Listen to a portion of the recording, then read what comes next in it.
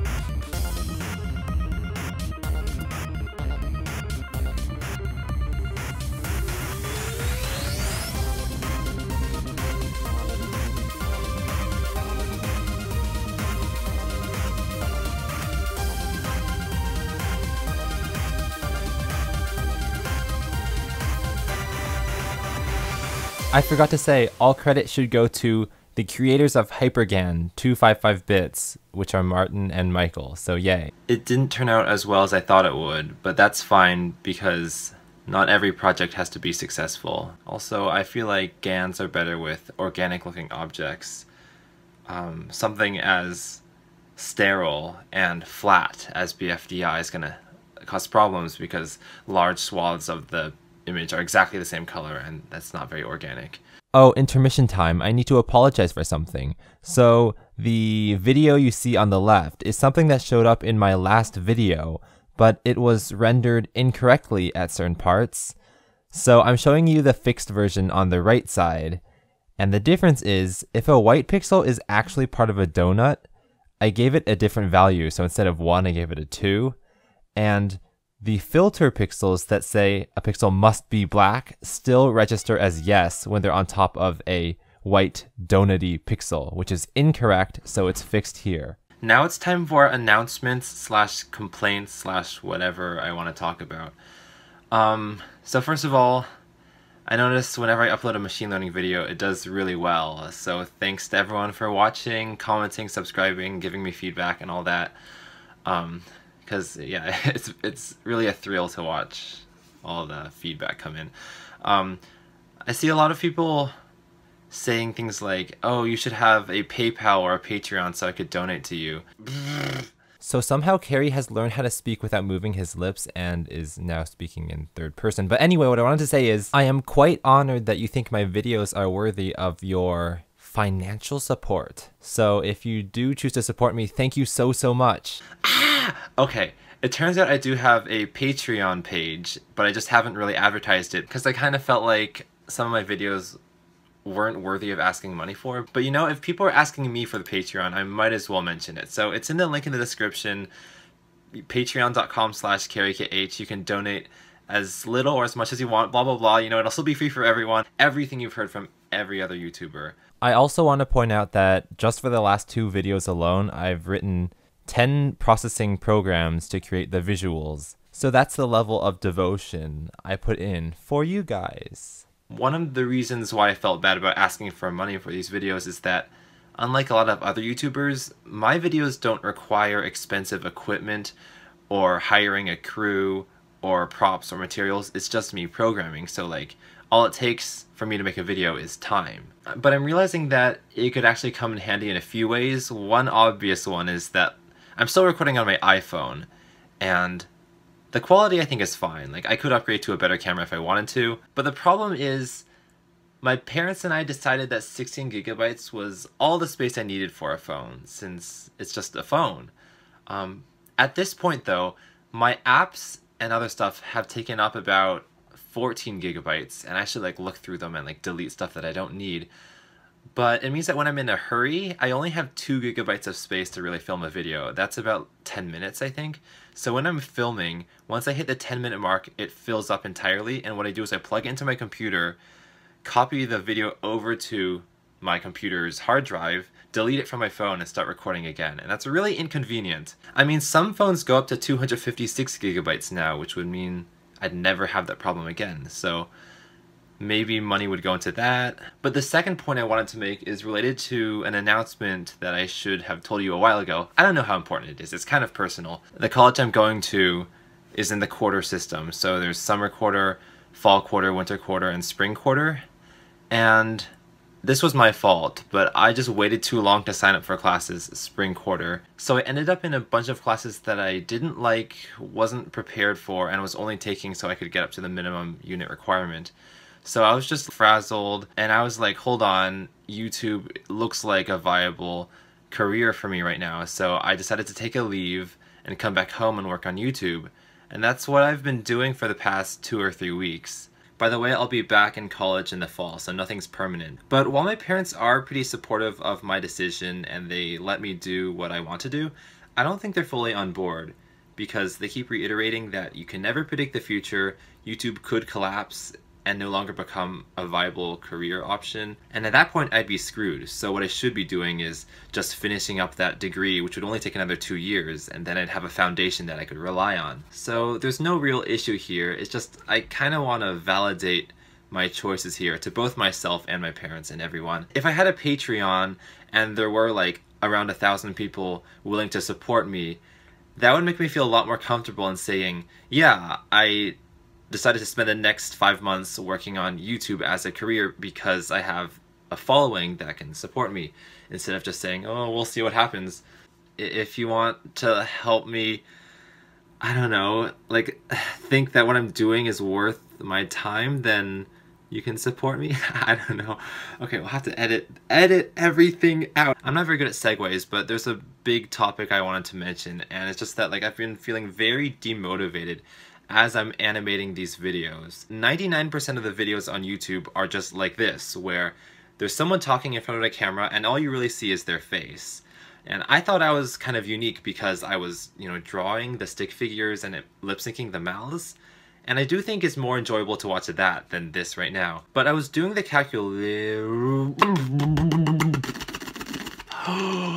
but I was doing some calculations and I realized that when there's about a minute of video that I want to animate, it takes about 500 minutes altogether of work on my part to go from the idea in my head to that minute of video on YouTube. There's the scripting, there's the audio recording, but 90% of the work is the animating. Yeah, animating takes a crap ton of work and you probably already know that. I've gone through quite some lengths to make the process more streamlined. For example, I've programmed commands into Flash to make lip syncing as like fast as like pressing buttons like this. And on a good day, I can get through one minute of animation in two hours, maybe three hours.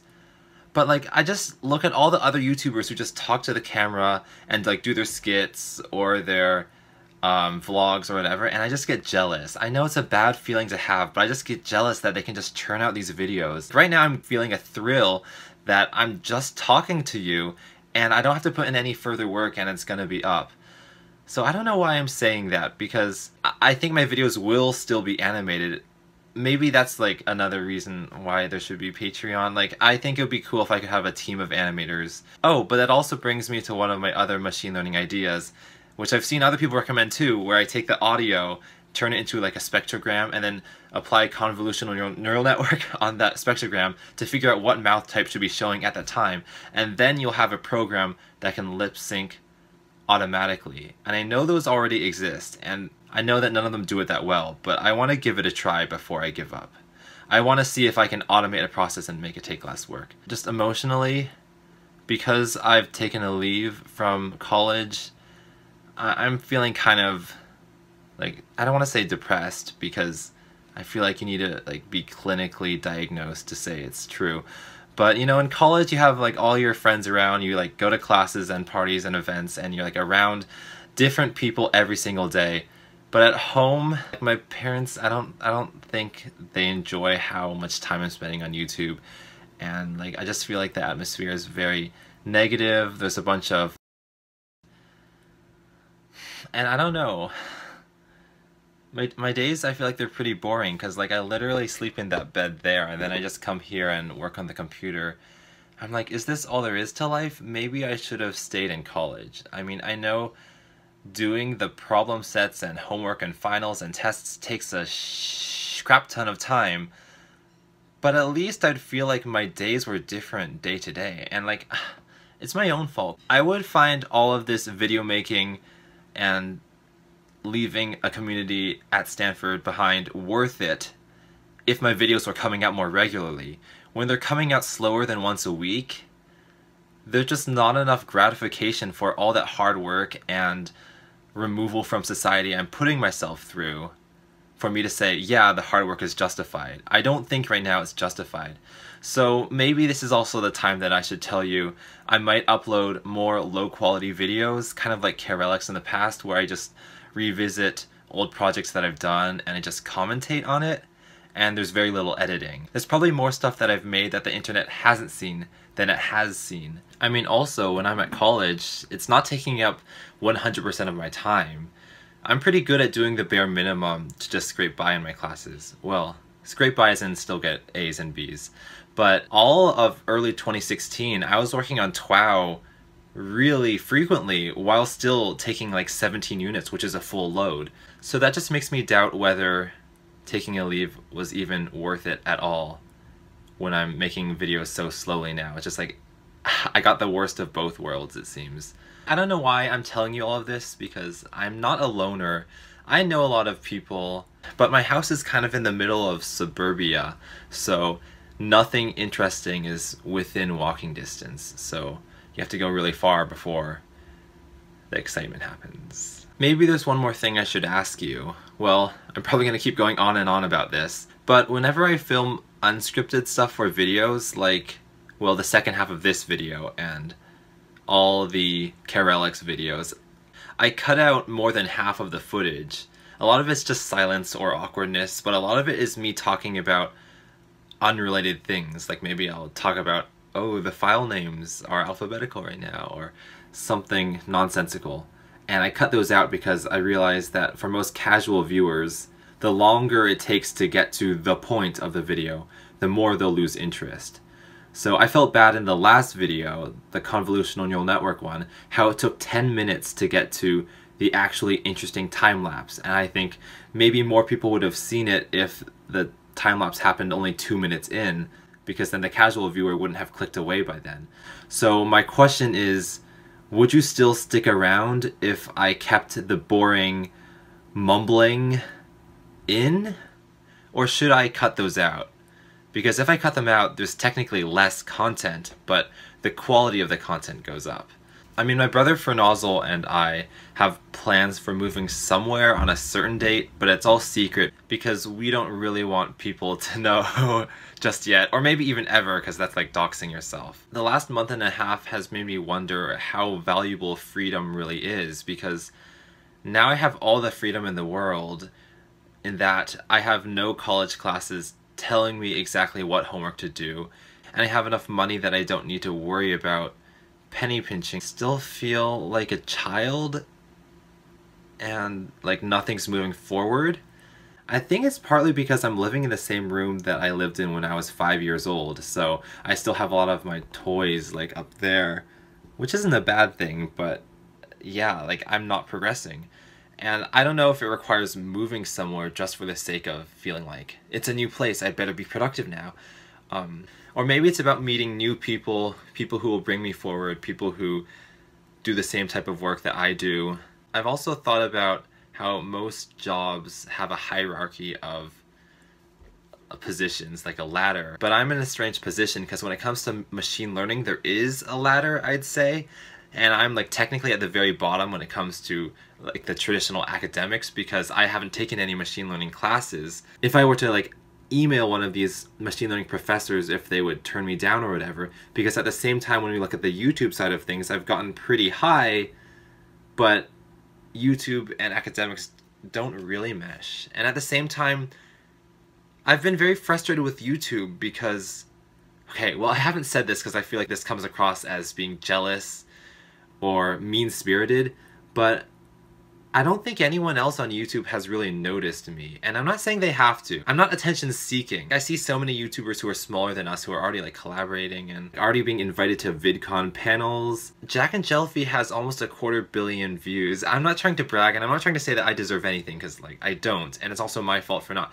reaching out to those people to try to make things possible. I feel like the only thing that I can really say when it comes to YouTube success is to like show them the numbers. I can't really describe any cool things we've done. I can't really list off any cool people I know from YouTube.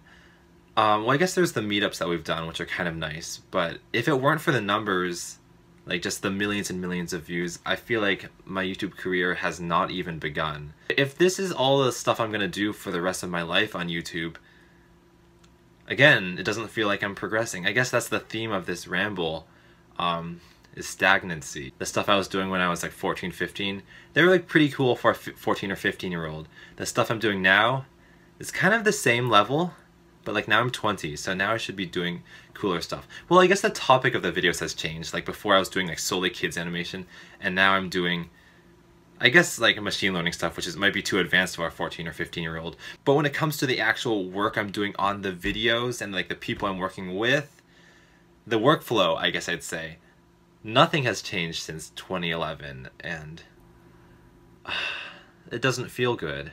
Again, it's my fault. There's nothing you can do about it. I need to be more proactive in reaching out to people it's very hard for me to do that. I think my personality type, like I'm one of the most introverted people I know. That's not to say I'm shy, because I think I have enough confidence to like speak to people, but I don't know, it's, it's just hard. You know, all this talking, I should make it into a video of its own, but I think if I made it a video of its own, then no one would end up watching it. You know, I look back to myself when I started BFDI, when I was 12 or 13 and I just wonder how I had the work ethic to animate 10 minute videos every single month. Like I think it was an average of 3 hours of work every single day. And I did I never question is this all worth it? Did I ever question like am I putting in too much time to something that's not not going to amount to anything?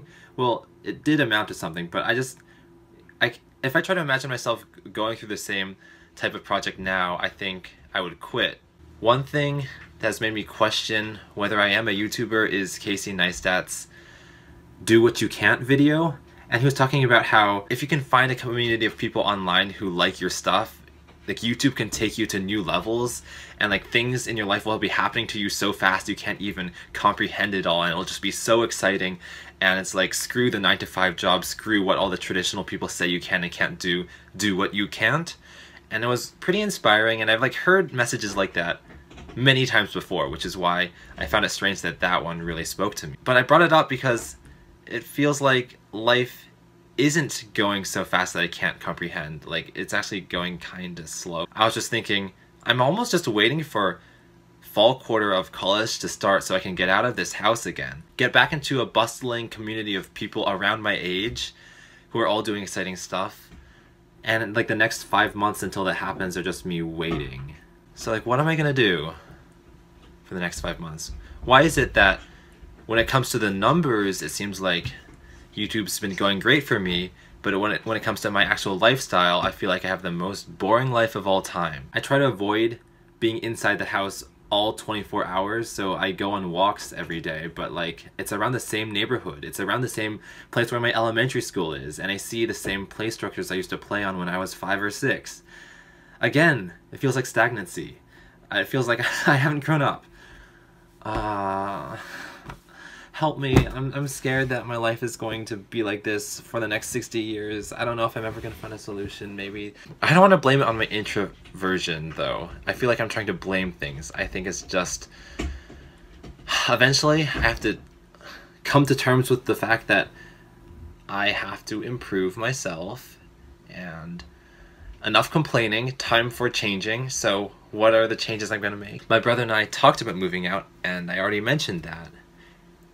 But that's not enough because I can imagine moving out somewhere and still living the same lifestyle. So I feel like even if I were to move into a place near a lot of animators, like would that change it? I mean, would it? I could go up and talk to them and say like, do you want to work on an animation together? And maybe we'd make one video together, one 30 second video. And then what? Then I have to ask again, like what's to come out of that? I'm too pessimistic as a person. I used to be super optimistic. Like when it came to YouTube, I used to think it was like the best thing that humanity had ever created. And what I thought of it as was a slot machine, like gambling, where you could never lose. Because if you upload a bad video, it doesn't get any views, but it doesn't hurt your channel. But if you upload a good one, you get a lot of subscribers. So it's really just yeah, a gambling game where you can never lose. And that just felt like the most exciting thrill to me ever. And I guess that's what propelled me through working on BFDI for so many years. But that that optimism has turned very quickly into pessimism. I think around the end of high school when I was like taking four AP classes and I was miserable, that's what flipped it for me. Someday I'd like to work on a big project with a handful of other people and we'd all work toward a common interest and that way I'd feel like I, I have my, my squad. No, that's a cringy word. The more I think about it, the more a 9 to 5 job doesn't feel so bad because it forces you to get to know people, but it doesn't though. Again, gotta be proactive. Maybe I should initiate these projects instead of waiting for them to fall into my lap. But again, that's hard to do when you live in the middle of a suburb where everybody is either an elementary school student or a parent of an elementary school student. I don't know what the goal of all that talking was because my life is my own responsibility and I can't expect anyone, especially people who only know me online, to do anything for me. So just forget I said all that. And I think back to my own experiences where I have had a lot of deep conversations with other people about um, like what I will have to change about myself to be happy and I feel like they're so momentous at the time, like I've had a big epiphany, but one day later, I'm exactly the same because I, I think personality is more connected to how your brain is wired inside your head chemically than all those conversations, which is why some people are naturally good at some things and naturally bad at other things. So maybe this is just the way I have been programmed. So that's me. Maybe the whole point of all that talking was to say, hey, support me on Patreon. So this video making process is a little easier for me and I can buy a new iPhone or camera or GPU or whatever. And hey, follow me on Twitter because for some reason my YouTube to Twitter ratio is 100 to 1, whereas with most YouTubers it's like 5 to 1 or 4 to 1. So clearly I'm doing something wrong. Maybe I need to advertise it more, but I feel like crap when I advertise because like how narcissistic could you be? So don't follow me. I don't know. Follow me, but my tweets aren't very high quality. Uh, I don't know. This video is going to end up being half an hour, isn't it? And people are going to be expecting half an hour of machine learning goodness, and they're not going to get it. Well, I think if I talk for any longer, I'll just start talking in circles, so I'd better wrap it up now. What's my next video going to be about? I have no idea, but I have been thinking about this gravity simulation visualizer heat map kind of thing that has actually been on my mind since 2011, so that's how long I've had it sitting there. So maybe I'll do that. I also want to show off my lip syncing programs that make me lip sync like three times faster than I used to. Or maybe it'll be that programming a neural network completely from scratch, assuming you know nothing, tutorial that I keep talking about, because I think that one would be the most helpful and actually educational to people. Um, so yeah, a lot of things I have planned, but I think when it comes to starting any individual video, just in the short term, I'm very pessimistic, can't find motivation. In the long term, I'm super excited. I feel like the future can hold anything. It's just something I'm gonna have to overcome myself. Um, but with that being said, I think it's time to say goodbye. So, goodbye. Are you gonna upload that? Are you really gonna upload that? Yeah, I'm gonna upload that. Oh, I'm gonna upload it. Okay. You're not supposed to open up that much for the internet.